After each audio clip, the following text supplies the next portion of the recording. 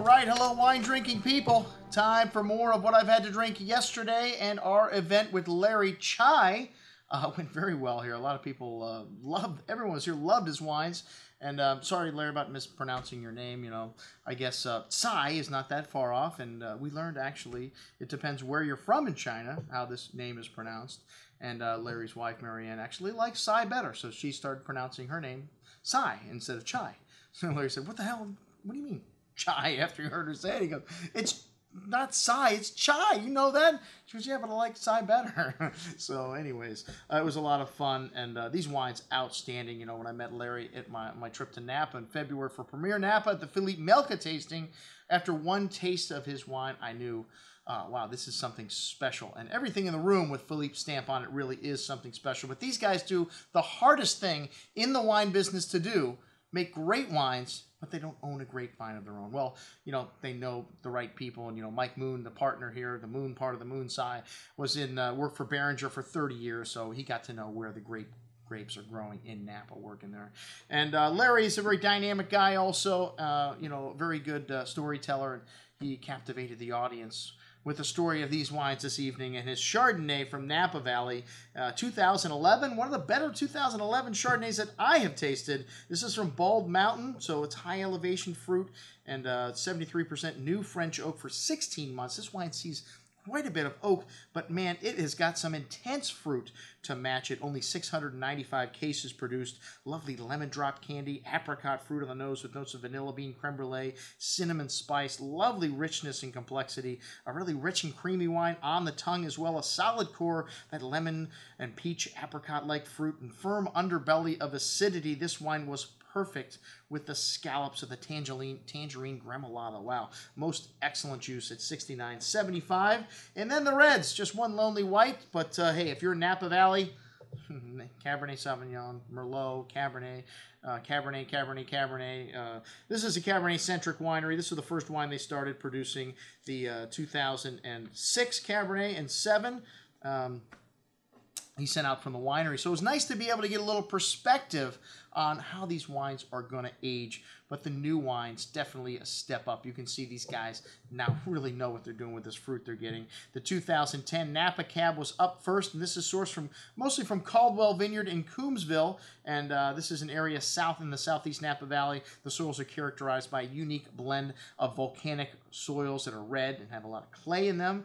And uh, this planted on gently sloping a plateau and uh, really nice uh, uh, terroir coming out in this wine. Really lovely, deep, dark, intense fruit notes of eucalyptus, herbs, espresso, dark chocolate. Really rich, but still has got balance. This 2010 vintage is going to be one for the long haul. You could definitely keep these wines. But you know, these wines really opened up quickly in the glass, and uh, they didn't need a lot of decantering, so very showy right now, but lovely structure, lovely balance. And uh, this wine is comfort meets style here and uh, most excellent juice. The 2010 Howell Mountain Hillside Blend was uh, the crowd favorite. And uh, Larry describes this as Margaret Marilyn Monroe meets Margaret Thatcher. So I don't know what kind of weird uh, dreams he's got, no, but um, I like it when people describe wines like as songs and a, or as people, you know, a cross between people, even more interesting. And this is 75% uh, Merlot from Howell Mountain, 25% Cabernet Sauvignon, only 446 cases produced. And this was the wine of the night, getting five votes. And this wine was just fabulous with the uh, uh, dish that my wife prepared, this short rib cannelloni with wild mushrooms, porcinis, a little cream sauce, and just really made this wine sing. One of the things I love about great wines, they're even better when you pair them with the right food. This wine had a lovely succulent plum and dark cherry fruit here, sweet herbs, big but still elegant. And this wine, you would never guess his Merlot in a blind tasting. Well, it did have 25% Cabernet in it, richness and power, and uh, incredible balance. This wine, delicious, and uh, you know the wine of the night, and under $100 a bottle. $100 isn't expensive if you're a cult wine made by Philippe Melka and uh, you only make 500 less or less cases.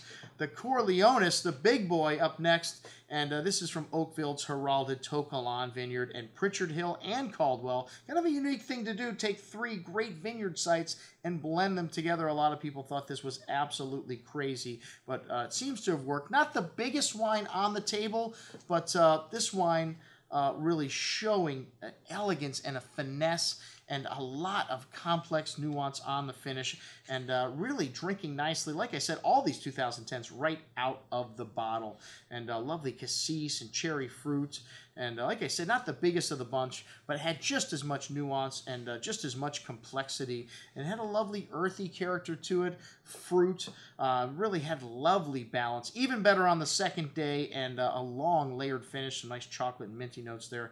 Most excellent juice at 245. Hey, you got to have that Ferrari that you take out every once in a while. The older vintage wine showed really nice, very different. The 2006 and 2007. The 2006 was the first vintage from the Caldwell Vineyard, and uh, this wine uh, had a lot of chew- chewy fruit still left to it, but uh, you could tell it had a little bit of age to it. The tannin softening out a little bit. 2006 uh, vintage. It had a lot of structure, some nice dark spices in this wine, dark chocolate, really fresh, proud earth. And the 07, you really notice the barnyard in this wine, a very different wine to it. Uh, and uh, the most old world of all of the wines, good amount of dark earth there, soy, dark chocolate, currant cassis berry fruit.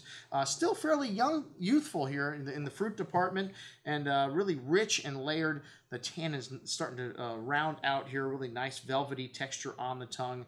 And like I said, that fresh earth, that old world, that nuance, that barnyard character showing more in this wine than any of the other wines. But still distinctly California, all the wines, excellent. Uh, oh, most excellent and uh, an incredible showing. A great night here at the Wine Watch. All right, I'm your host, Andrew Lampasone, signing off for the Wine Watch, saying remember, always drink the good stuff first.